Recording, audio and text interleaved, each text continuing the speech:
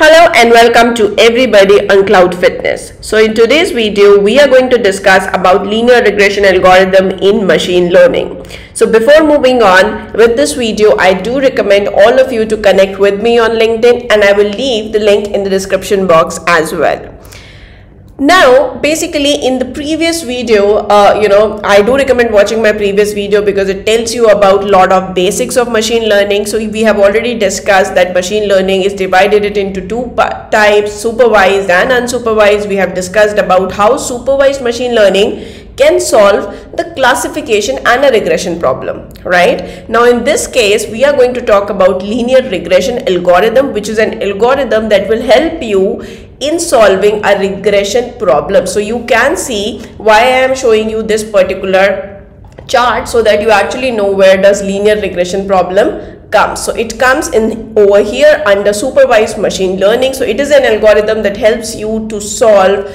a regression problem. So in case you want to understand more in detail, you know what a supervised, unsupervised classification, binary, multi-class regression problem, then in that case, I do recommend watching my first video.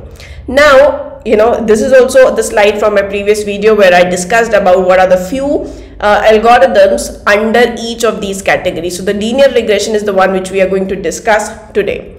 So when we talk about linear regression, right, what exactly it is? So we have already seen through the flow chart that it is nothing but it is a supervised machine learning algorithms, right?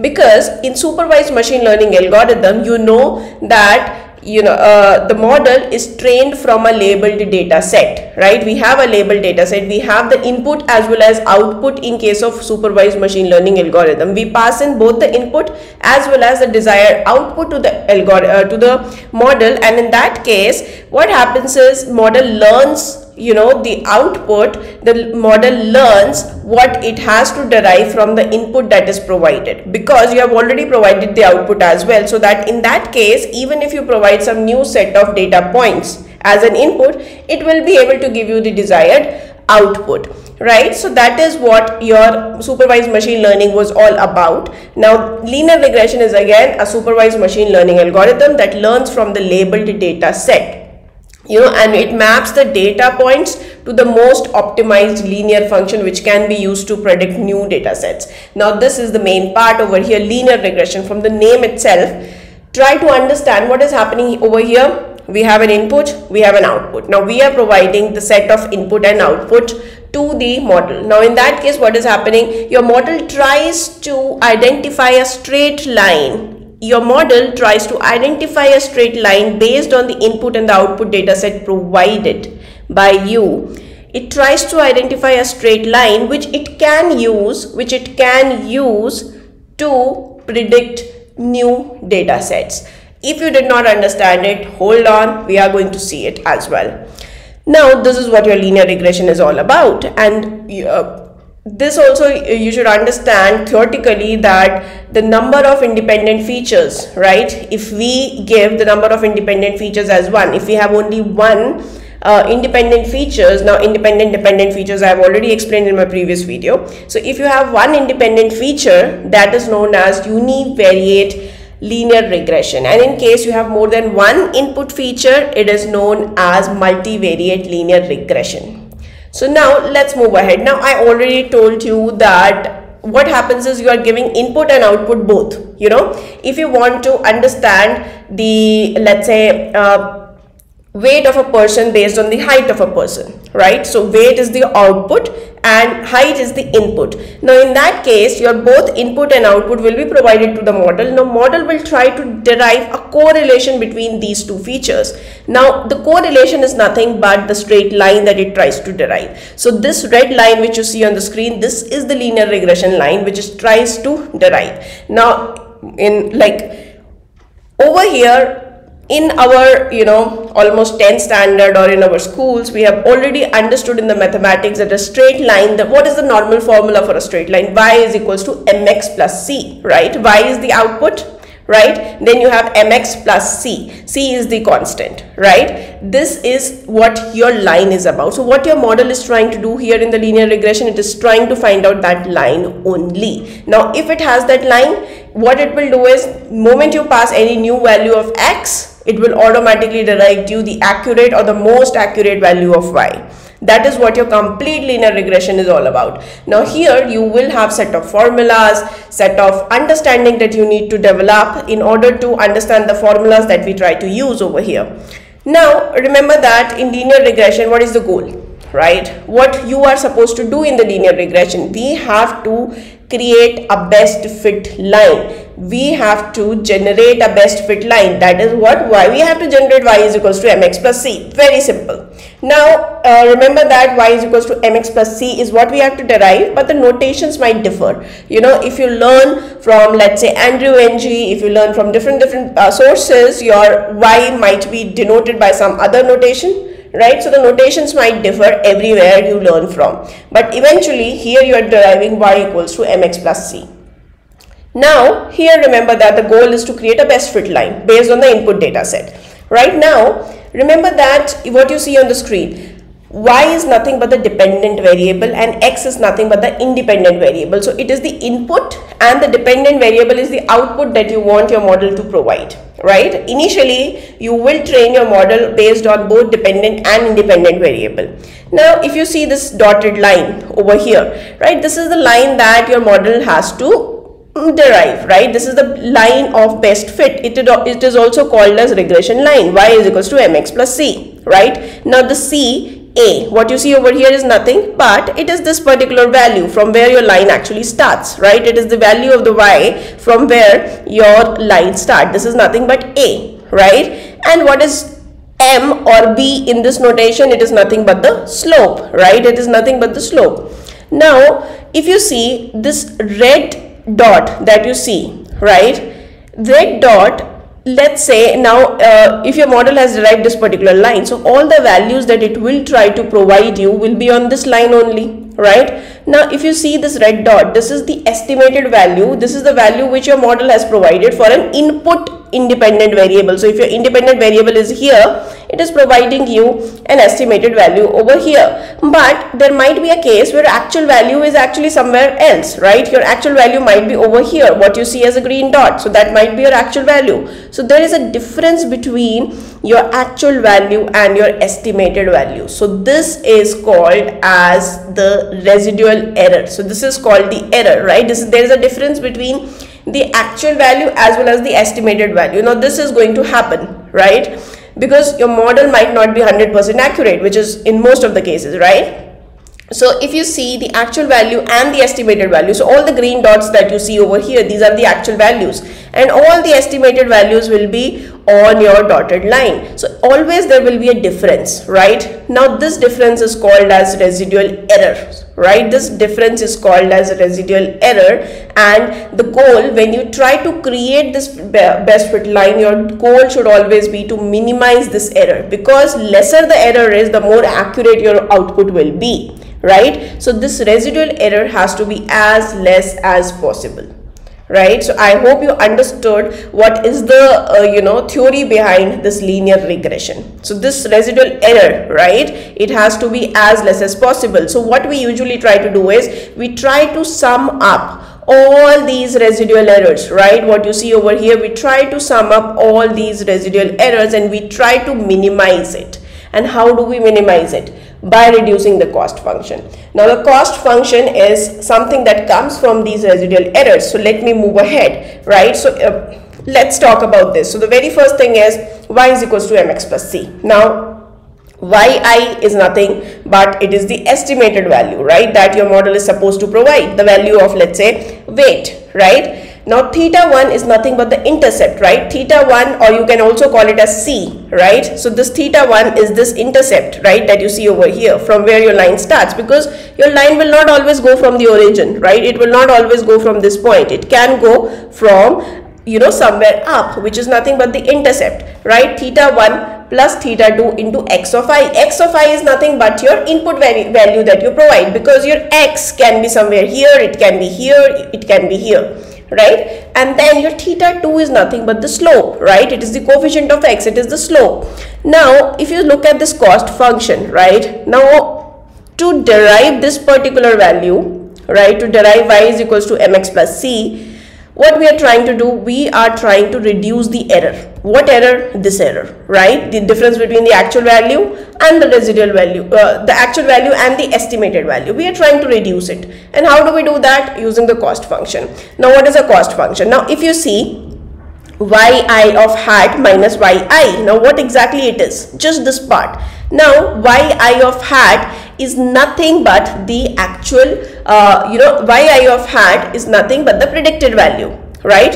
If you go to this particular location uh, this particular equation yi of hat is nothing but the predicted value the output the output weight.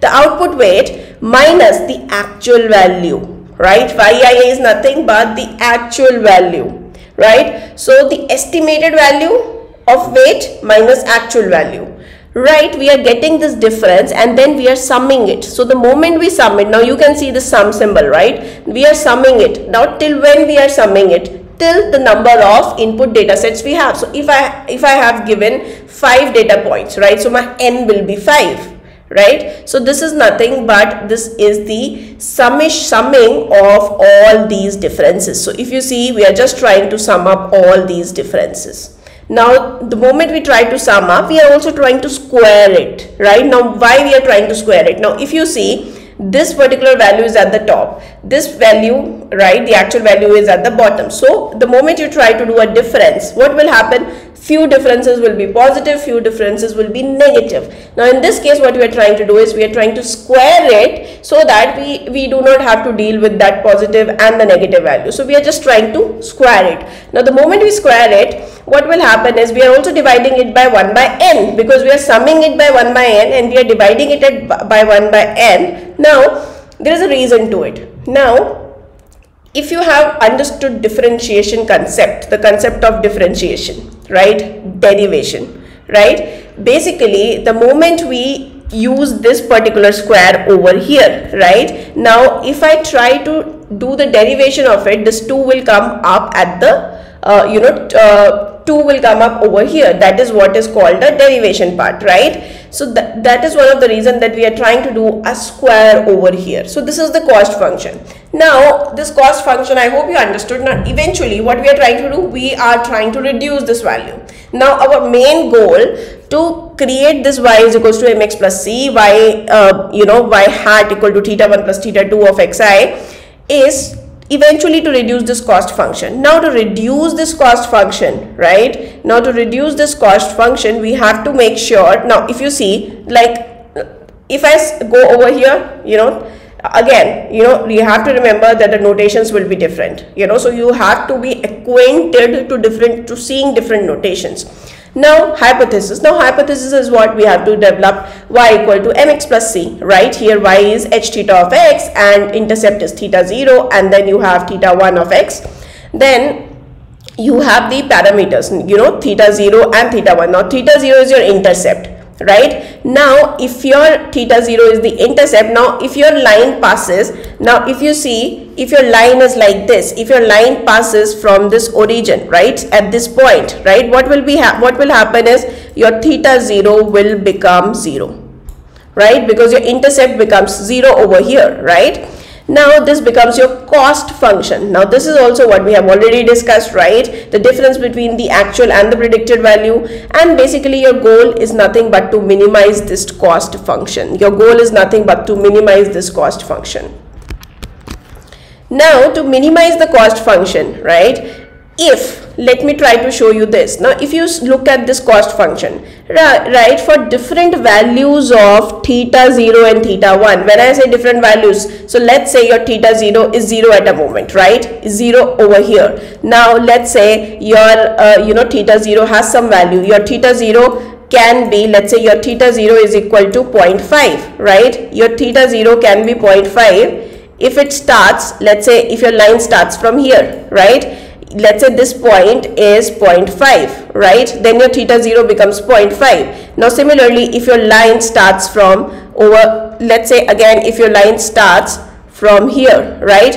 And this point is 1 then your theta 0 becomes 1 now for different values of theta 0 and theta 1 if you try to plot a graph right? If you try to plot a graph of this cost function this is the graph that you will get you know this is the graph this is the u-shaped or the curved graph that you are going to get so if you see this theta's cost of theta j function j theta function this will be nothing but this will be a u-shaped curve. You can actually try this out as well. You can take this as a homework after watching this video. Try to plot a graph with different values of you know theta uh, 0 and theta 1 you will actually see this graph. Now to minimize this function right? Now if you see to minimize this function what we are doing is we are trying to plot a graph. Now let's say you know uh, here what will happen is if you see let's say this is one of uh, the u-shaped curve that you got. Now in that case the minimum value over here because what we want to do is we want to get the minimum value of theta j right? That is our end goal right? The minimum the minimum the value of this theta j, uh, j of theta will be the minimum this cost function will be the better your hypothesis will be right? Now in that case the minimum value of this theta j will be over here right? This is the minimum cost where you see this red dot. This is the minimum cost function. This is the where you actually have to reach. So you have to design your the values of your theta 0 and theta 1 in such a way that it reaches this minimum cost function. That is what your end goal is. Now to do that if you see you have to what you have to do is you have to first of all identify a value of theta 0 and theta 1 and then you have to slowly and gradually try to come to this particular point of minima. This is called as local minima right? This is called uh, this is called as global minima right? Now in this global minima or the minimum cost right? Now let's say if i have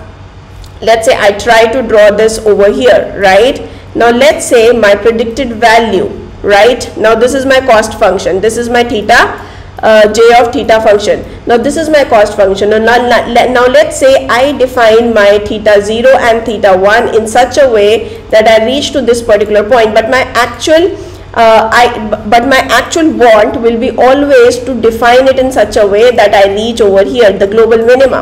Now if I try to draw a slope over here a gradient over here right and eventually I have to understand that I have to reach over here using the some steps right? I have to define my function in such a way that I reach to this particular point. Now to reach to this particular point what we have is this particular function the what you see over here right? Theta j minus alpha and j of theta 0 and theta 1 which is nothing but the gradient okay? I am just here here if you look at it this is nothing but the gradient right? You have to actually slowly decrease the gradient in such a way. You have to you have to decrease your theta j in such a way that you use this particular gradient and you have also something called as alpha over here. Now alpha is nothing but the learning rate right? So to understand it even much better if you see over here right this is nothing but the learning rate. So alpha is nothing but the learning rate over here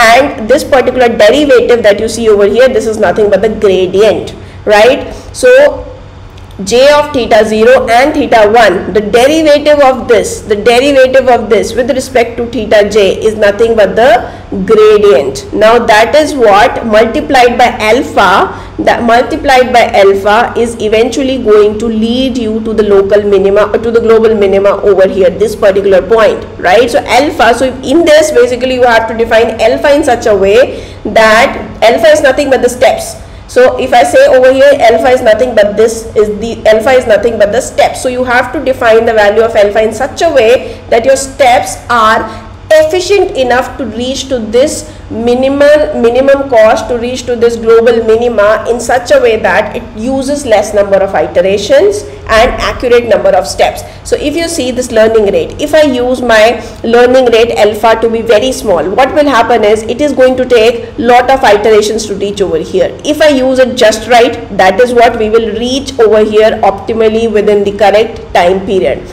Now if my value of alpha is too high right? So basically it is just going to it is never going to reach over here because sometimes it will go up sometimes it will go down. So that is how this value of alpha actually matters a lot right? So i hope you understood that what is this uh, you know uh, uh, cost theta function and how we have to actually minimize this cost function using the learning rate and the derivative or, or the gradient of this cost function. Now eventually the gradient of this cost function you know and trying to identify this alpha this particular uh, you know formula is nothing but it is called as convergence theorem. It is also called as gradient descent theorem. This is nothing but this is called as gradient descent theorem because uh, gradient descent algorithm because eventually it is trying to decrease your uh, you know cost function by trying to get the gradient by trying to get the derivative of your cost function gradient and multiplying it by alpha and then subtracting it from theta of j. So eventually what it does it, it reduces your cost function. So this is what your gradient descent algorithm was and I hope you understood the you know whole concept of this linear regression. So in the next particular video uh, we will try to uh, you know implement linear regression in Databricks. Uh, we will try to see how exactly this is implemented as well. But you should know this theoretical concept behind it that what is this gradient descent why we are actually using it right? Try to plot this graph try to plot this graph using different values of theta 0 and theta 1 you know try to plot this graph you know and i hope you like this particular video. And and remember one more thing in fact uh, i forgot to explain this. Now if you see this particular u-shaped graph right this is the graph that you will see when you have you know uh, one feature and one output. Now in case you have multiple features then in that case you know you will see some 3d graph which you see on the right hand side over here. So it will be kind of a bowl shape 3D graph that you will see in case you have multiple features. And there also you have to come to the global minima right? So now this point of you know uh, this point is nothing but this is called as global minima right? This is our whole objective that we have to reach here right? This is our whole objective. Now to summarize this you know in the linear regression what we have to do we have to find out uh, find a straight line right which is y is equals to mx plus c. Now our idea is to get the accurate value of c to get the accurate value of m. That is what we need. Now to get that we have something called as cost function which is the difference between the actual and the predicted value. We create the root mean square of that difference and that is what is called as cost function. So eventually we have to reduce the cost function. We have to get our theta 0 and theta 1 in such a way that we reduce the cost function. Now to reduce this cost function what we do is we try to plot the cost function. Now plotting of the cost function looks like this now with respect to you know the theta j or theta i now this is the cost function. And now to reduce this cost function we create the gradient graph. We try to get the gradient and we try to reduce it to get to the local to the global minima right? That is where we want to reach. Now to get that we have something called as gradient descent algorithms so this is what your linear regression is all about. I hope you like this particular video. Do let me know in the comment section if you want me to show you how to exactly plot the graph and you know in that detail also if you want the video do let me know in the comment section but this particular video is pretty much good enough to understand this whole algorithm and even the next video where we will see the hands-on on how to develop it will be you know very good to understand uh, you know the whole uh, linear regression algorithm itself. So let me know in the comment section if you really like this uh, video so that it helps me to get the feedback or whether I should be making these videos or not. Because uh, you know if you're a data engineer then uh, you should know you know the machine learning at least this much what I'm trying to explain so that you know in future it's not just that you know about the data you also know about how to utilize that data with uh, you know upcoming AI world.